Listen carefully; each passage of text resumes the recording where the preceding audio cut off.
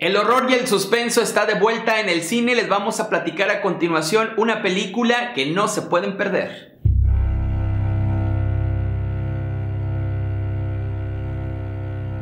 Si ustedes son amantes de este género, pues entonces no se pueden perder en cartelera precisamente esta película porque pues bueno, ya teníamos rato que no veíamos algo así, algún tipo de historia similar a esta.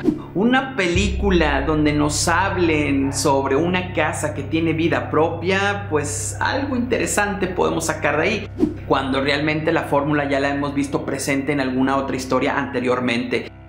De la historia de Stephen King, por supuesto, hay muchos momentos que podemos hacer la comparativa con cualquiera de sus versiones. O La gente detrás de las paredes, esta historia de la época de los 80s, donde también nos cuentan estas personas que vivían detrás de una pared. Hubo muchas personas que hicieron también lo mismo que yo, estuvieron comparando esta película con algunas otras. ¿Y saben con cuál la estaban comparando? Con Midsommar. Cada uno de estos por ahí estuvo manejando algún otro título para que ustedes tengan ya una idea más clara de lo que podemos ver en pantalla. Eso sí, si ustedes ponen mucha atención al protagonista, seguramente ustedes van a reconocer al ex peleador o luchador de la UFC. Él se llama CM Punk. Ahora ha decidido probar suerte en el mundo del cine. Esta es su primera historia. Y también mencionar que el director es su primera película. Tuvieron un buen acierto. Creemos que es buen acierto para hacer su primer proyecto. Pero ¿de qué va? Les platico que Don y Liz están dispuestos a comprar una casa para renovarla. La casa tiene muchos detalles y está en totalmente deterioro, pero ellos están dispuestos, como les digo, a cambiar la estructura si es necesario para poder formar un hogar. Él pues ha tenido uno que otro tropiezo en el matrimonio y ahora está dispuesto pues a llevar las cosas bien, no volver a cometer ninguna tontería para no generar un disgusto con su esposa, así es que él decide primero irse a vivir a esta casa para empezarla a reparar, pero lo que no contemplaban es que esta casa de repente se empezaba a portar de una manera muy extraña.